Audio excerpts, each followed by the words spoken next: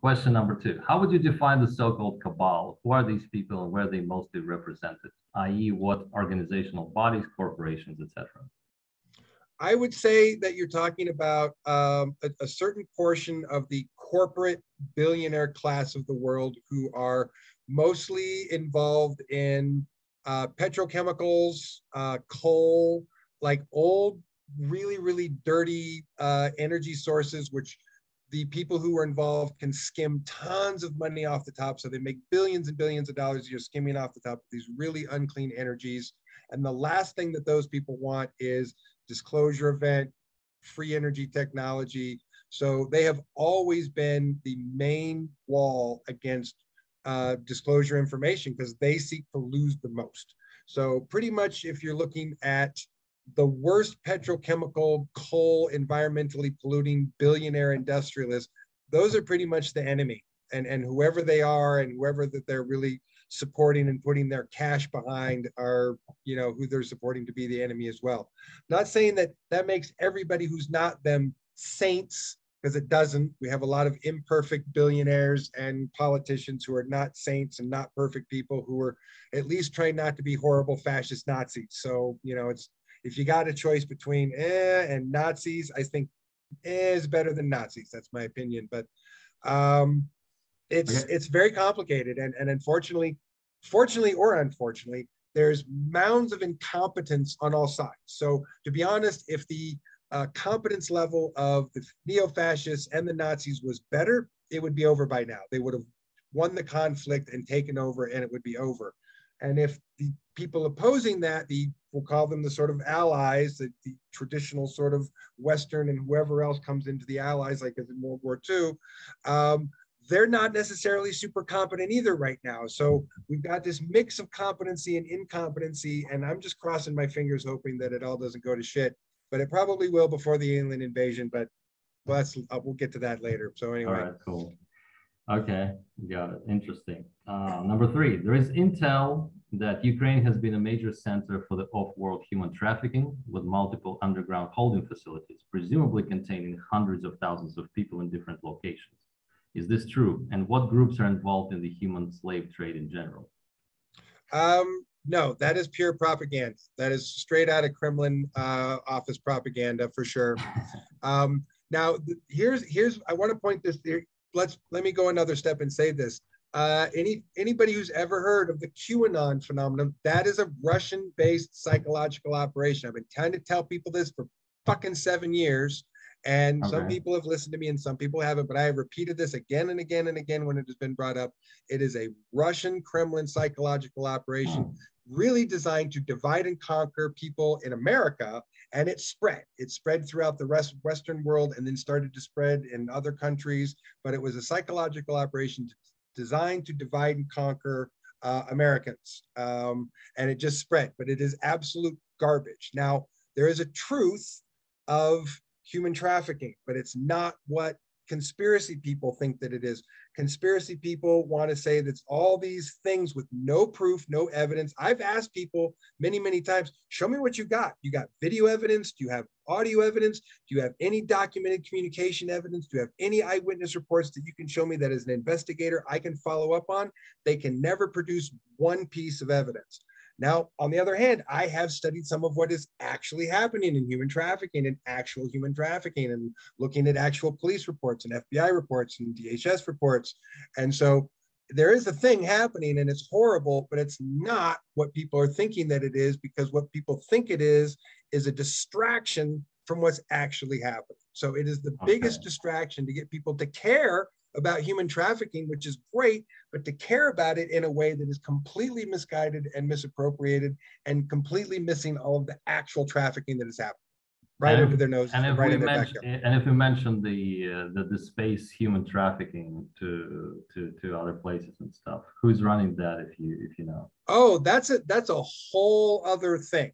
That is a whole other thing yeah, that's what i'm saying. It's off world yeah yeah and and and the numbers are not even what people would suggest or think that they are it, it's it's mostly an off-world thing and it's mostly happening in other places and with the colonies and so forth uh, a lot of that activity has moved off of planetary surface as most of those people have moved off planet to sort of be at a distance from whatever's happening down here with the stinky surface dwellers.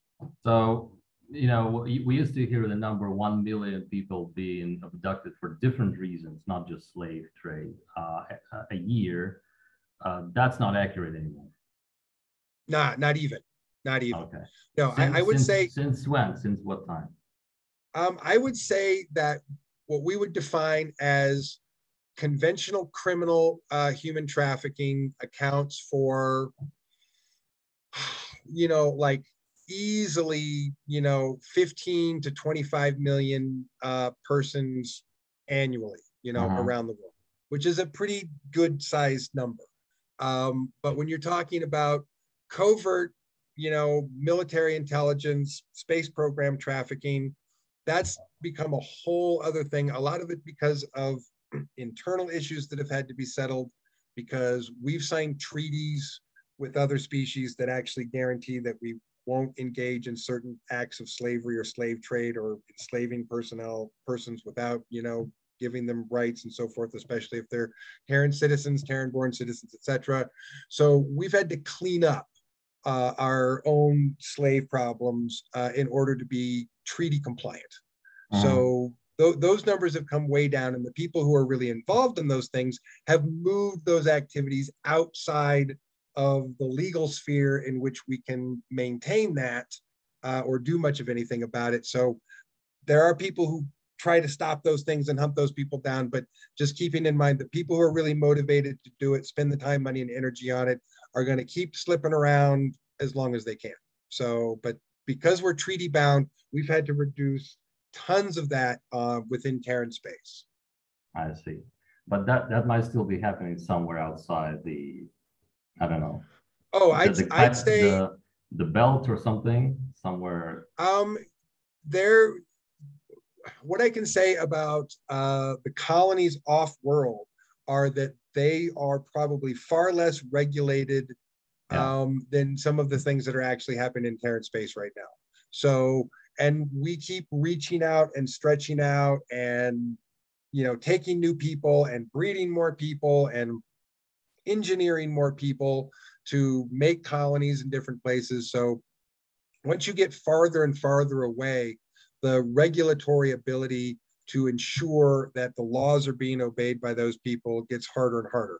And naturally, the people that want to do those things know that, and they're pushing themselves farther and farther got to it. the reach of that activity to continue to get away with what they can get away with. So Okay, got I have to, I have to admit the problem's not solved, uh, but we've made it sort of cleared most of the internal cancer. So it's a more of an Mhm. external cancer. Got and Got it. All I right. say, give it time, give Okay, it time. cool, cool. Uh, things are changing. Give it time. Okay, uh, there was intel that in the late 40s, early 50s, there was a joint US-USSR operation in Antarctica that involved the deployment of nuclear nuclear weapons against the German bases. Do you have any data on this? Yes, that is correct. Okay. And it, it's it's correct. Okay, so and the intel says that after the U.S. and USSR supposedly lost to the Germans, the U.S. the USSR alone delivered 20,000 Soviet soldiers to the Germans in space to be used on the moon and Mars as labor and troops to fight the local races. Is that true?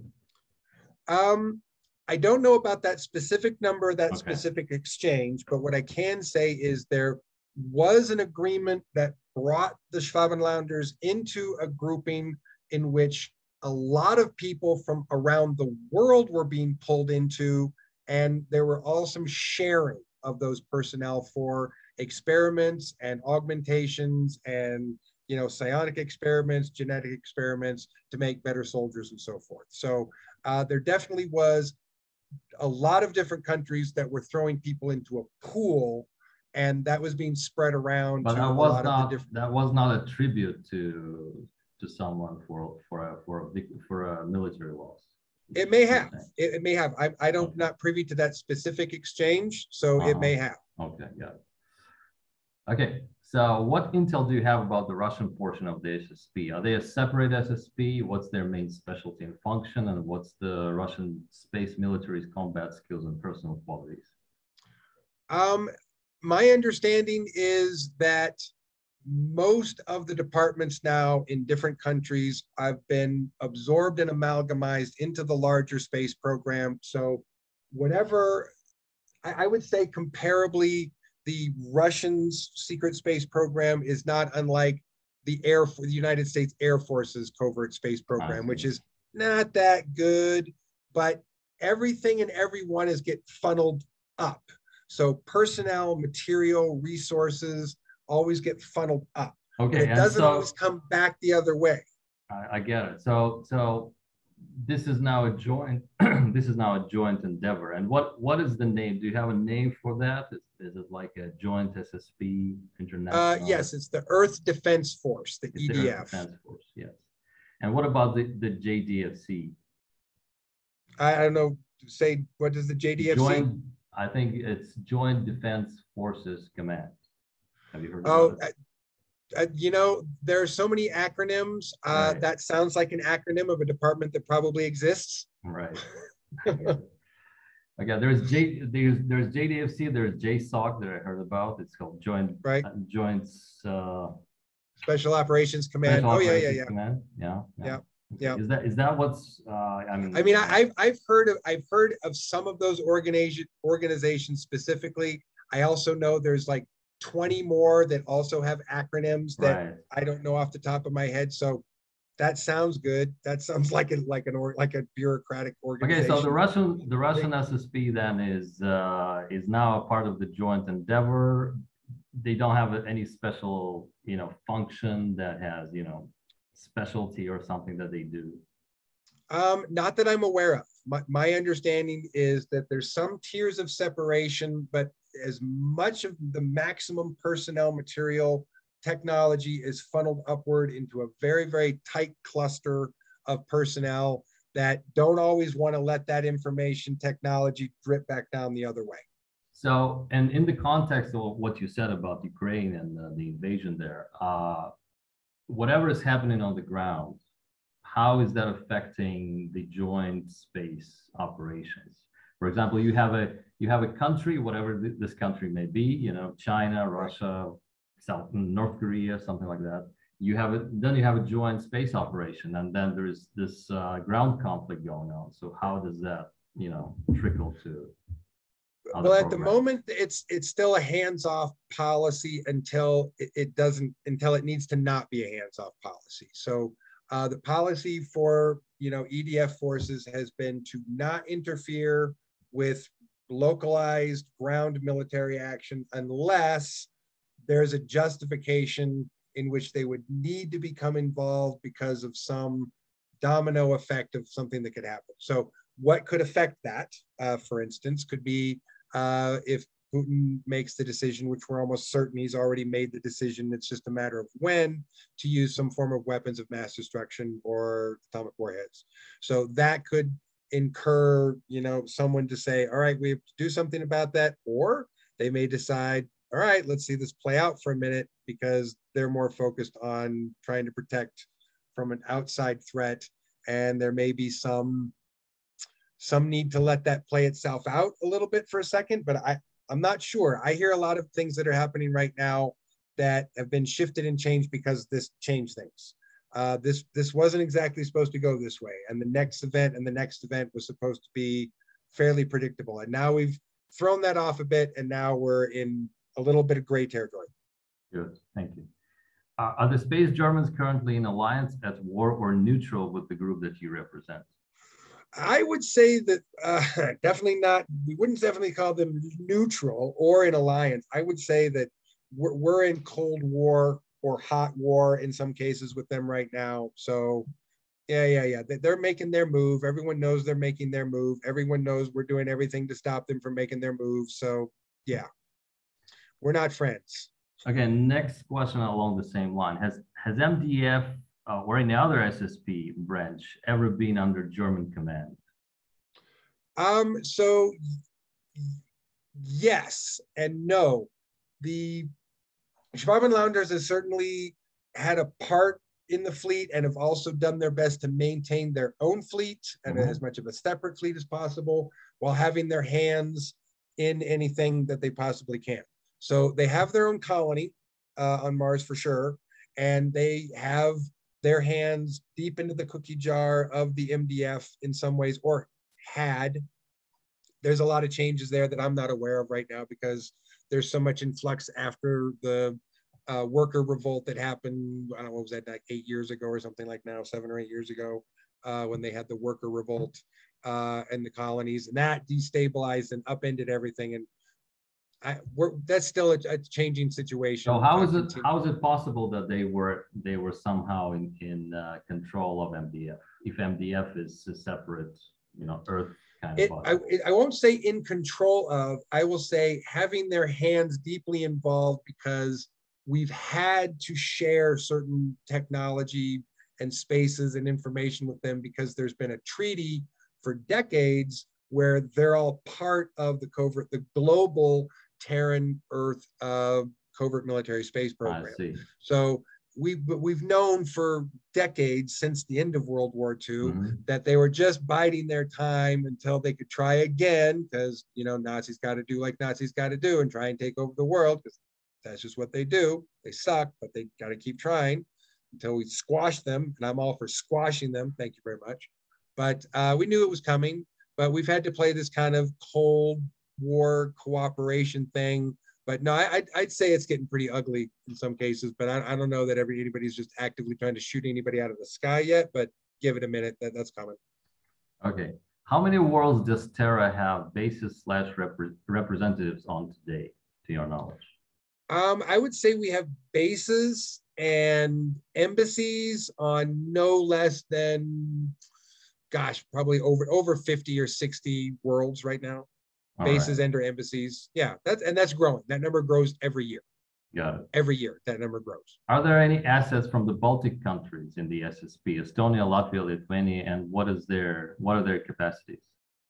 Do you know? Um, again, there's always been an uh, a, a goal to filter up. So Mhm. uh, superior personnel from all ranks, all services, all military branches are always being looked at and asked to come join and do other things. And so uh, I'm certain that there are. I, I have no idea what numbers, uh, but you know, pilots, engineers, you know, soldiers, probably all the things that everyone else does. They pick the best of the best. I'm sure they got a few in there. Right. So uh, the next question you told me that it's classified, and the question was how many Terran assets are serving in the SSP right now? What percentage does it in real time and the parallel timeline? Now, uh, in your estimation, and I know it's classified. In your estimation, uh, okay, so you you know that, but you can't say. I see. Okay. I mean, in your estimation, is it in tens of uh, thousands, tens of thousands, or more? Oh, more, More than that. Okay. more. Over a hundred thousand? Yes. Okay, interesting. Uh, when was the time travel first used in the SSP? According to William Tompkins, he said that the the the 20 and back system started working in 1980. That's kind of late, I think. That's what he said. And uh, you know, judging from, for example, Penny Bradley's testimony, she was sent to Mars as early as 1959 and and and, Yeah. and, and brought back. So that's you Yeah. know, we have like 50, the 50s now. So when do you think was the when do you think the system of 20 and back and whatever time travel uh, was established? I know that we were working on it. We had engineers working on it on a theory level for sure in the 50s. They Mhm. were doing practical work and testing for sure in the early and mid 60s. So I would say by the early 70s, they would have had something functional, operational, and that they could use even in a limited capacity with a limber, limited number of personnel that they could, you know, travel forward or back per year or per month or whatever in the early stages. But that would eventually, like everything else, become standardized, industrialized, oh, got so that they'd have as many units, as many machines, as many engines, as many jump gates or whatever that they needed to move, as many personnel as they needed. So that's So not I- I would counting. say- that's not counting the the ETs doing that, right? Right. Right. Yeah, no, I, I would say based just on the trackable beginning of, you know, drawing table, you know, uh, testing stage, 50s, 60s, we, we would have had functional, applicable technology that we could have been applying in the early 70s. And it's interesting that you have parallel time trial programs like Andrew Basiago's, who is saying that the US had the time travel by 1970, which is quite late as well, right? Right. So, so there was like parallel researches going on at the same time. Oh, oh yeah, always. There was never just one department working uh-huh. on something. You know, you got multiple departments, and whoever gets there first gets there first. Right. And maybe though that's not even the most the program that someone is most going to know of because that's going to get shuffled over here real quick to do something super secret, super first. Try to get an edge on someone before they can develop it, before it becomes standardized. That's that's always a thing that someone's trying to do with, with military tech. Okay. Uh, how is it that the competing SSP groups seem to all have access to the same pool of human assets? That's an interesting one. Uh, again, there's a treaty. Yeah, there's a treaty that everyone basically agreed to and that everyone signed that uh, of all the personnel across the world that would be selected and pooled up, that they would go into a pool that's managed by an independent bureaucratic organization which dispenses those personnel based on requests, uh, need, and priority, and all that stuff. So there, there's an independent agency uh, that takes that decides to dispense based on requests. Yeah, what I'm saying, what I'm saying is the the groups that are maybe not uh, meshing well with each other. Like for example, you have a person who goes to the Navy on on Earth, right, and right. then gets sent for example, up to the moon to serve in Kruger, a German right. mercenary group. And after right. that, gets sent to Mars to serve in the MDF. And after that, gets sent to the German fleet to serve there. Yeah. So it's like that sometimes. People get sent yeah. all over the place sometimes. Yeah. I, have been bounced around. I mean, who's, who's deciding that? I mean, how can that be if if if you're saying, for example, that your group, uh, the Navy, you know, is it is it the Navy right. or the Marine Corps? Uh, uh, they're that both are so closely associated. Right, with right, each right. Other, so if, if you're yeah. saying that you are not, you know, friends with the Germans, and then someone gets sent from the Navy directly to the Germans, or some rogue German group as Kruger or someone else, right? How is it? Um, how is that uh, working? well, I would say that in the past it worked very roughly, and that it didn't really work so well. It just worked very roughly and I would say as we've moved along in time, there there have been some stops of certain personnel getting to other departments, and the flow of that has changed a little bit for sure uh, as time has changed. And I, would say that that whole department's about to get upended for a bunch of reasons. So, for example, if someone's serving on on in, in in one branch like the MDF, who can right. come and say, okay, I need this, this, this, and this person in my fleet somewhere over, you know, in, in on Pluto or something?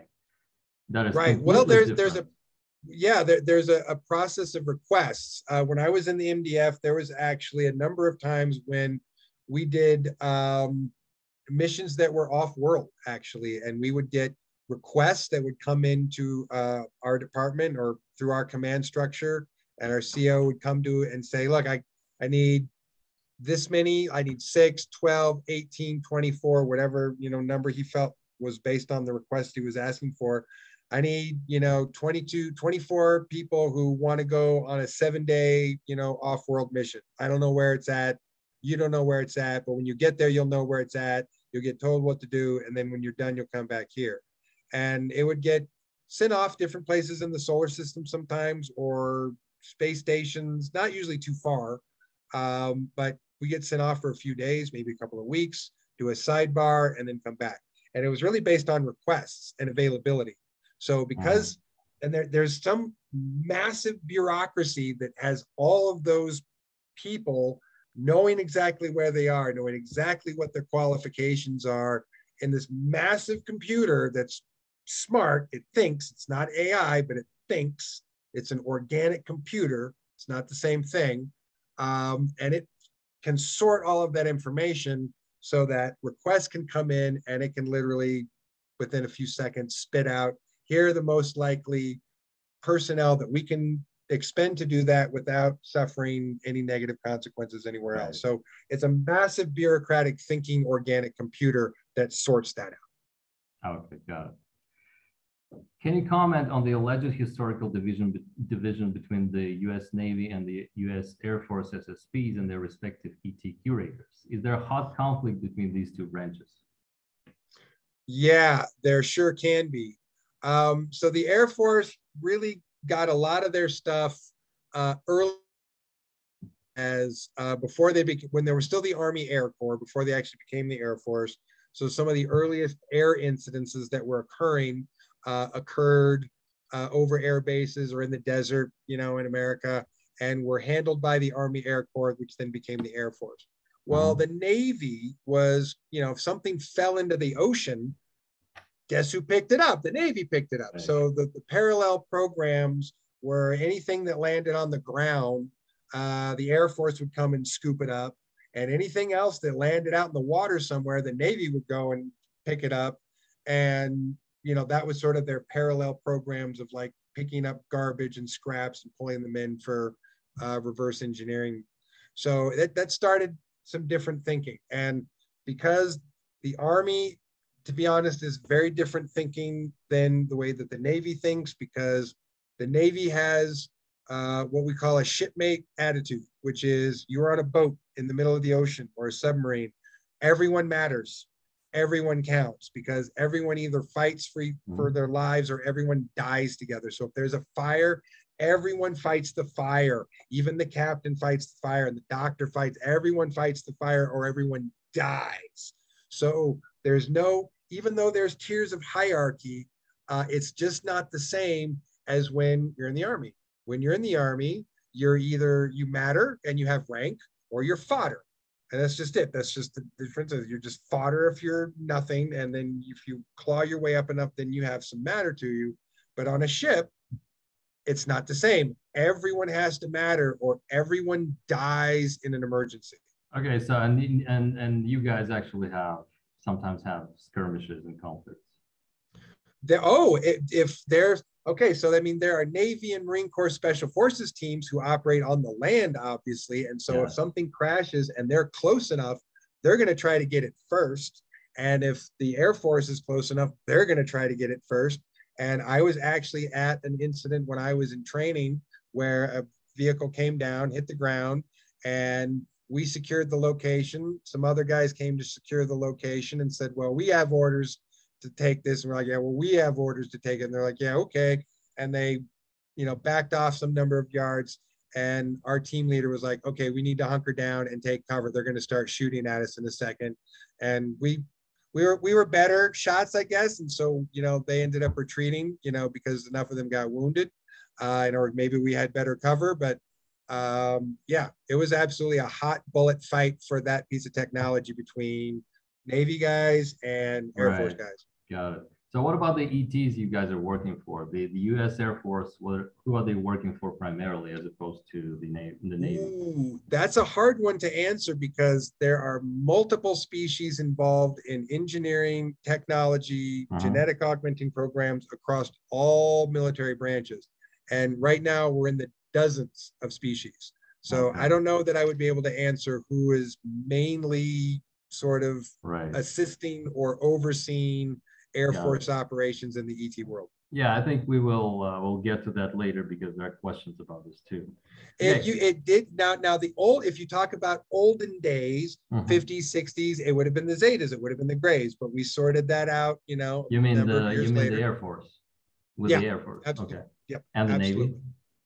Um, the Navy, we it, it changed very quickly for the Navy, and they were dealing with another group uh, that was called the Cortium, a completely different uh, group of spe- uh, species that looks very similar to humans, uh, talks more like we do, eats food more like we do. But Is that like yeah. the, the the so-called Earth Council? No, the, No? these were uh, ET species that are humanoid. I see. There's a lot of them actually. There's a lot of humanoid e, uh, ET species out there, but there's a lot more of everything else. But there's a lot of humanoids. And and the so-called Earth Council. Do you know anything about them?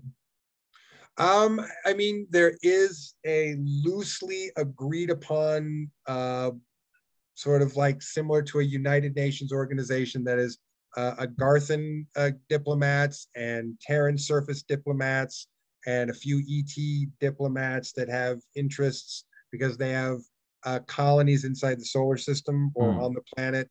There's a few very uh, isolated colonies of extraterrestrial extraterrestrial species that came here a long time ago and are occupying a very tight cornered space where they just want to hide and not get hunted down by the people that annihilated their entire planet, their entire species, other than the ones that are hiding. Are, are Uh, they we have a few working? Okay. Are they are they working on cleaning the the solar system from things like slavery, you know, inhumane acts, and so on? Oh yeah, we have to because of the treaties, and I would say that we've made tremendous progress at that in the last decade, and we're just going to keep making progress at that. Once we finish this war with the Schwabenlanders and we kick their asses once for once and for all, I think that will really settle it. So I'm Oh. ready. I'm ready for it to just get on because let's just kick their asses already. They're assholes. Nobody likes them, so let's just kick their asses and be done with it. Send them packing. Okay. You said that there was a change in the SSP management in the past 20 years or so. Can you elaborate on who replaced whom and how the policies changed? Oh yeah, I would say that um, you know for many years the the Air Force certainly had a stranglehold on the intelligence community community's access to information, Mhm. and that changed. Uh, that became much more of a Navy Marine Corps Special Section operation because we just started sending more people to brief people. We just started sending intel officers to brief politicians, to brief diplomats, to brief uh, military, other lower military personnel, you know, the, and the lower security echelons. We just went around and started briefing people and just started going around the Air Force and saying, we don't need your permission to go talk to someone and brief them on something we think they have a need to know. We don't need your permission to do that. So, Uh, the Zoom is gonna stop because we, we hit the 40 minute mark and let's re-enter. I will send you another link here. Okay. okay, no worries.